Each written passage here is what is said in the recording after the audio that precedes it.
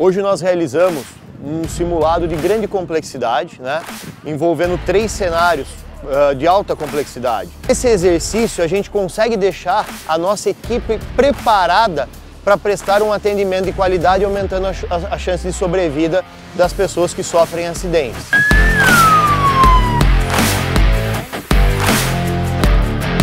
Ela contribui para a melhoria do atendimento da população, porque ela permite a conexão e o intercâmbio de diversas técnicas de salvamento, de diversos equipamentos e de diversos profissionais com diversas experiências, tudo em prol do cidadão e da comunidade que necessita dos nossos serviços. Para nós é importante para testarmos os nossos limites.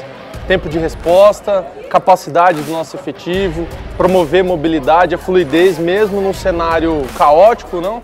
É, tentar promover essa fluidez e promover assegurar a segurança das vítimas e também prevenindo novos sinistros, evitando mais vítimas.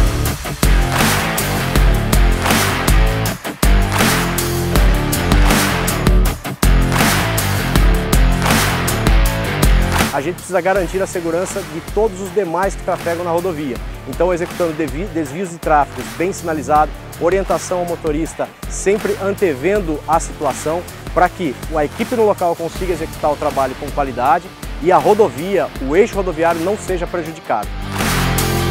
Nós somos o que treinamos, né? E eu costumo dizer que nós derramamos o suor para evitar derramar sangue. Então, é, treinar para salvar.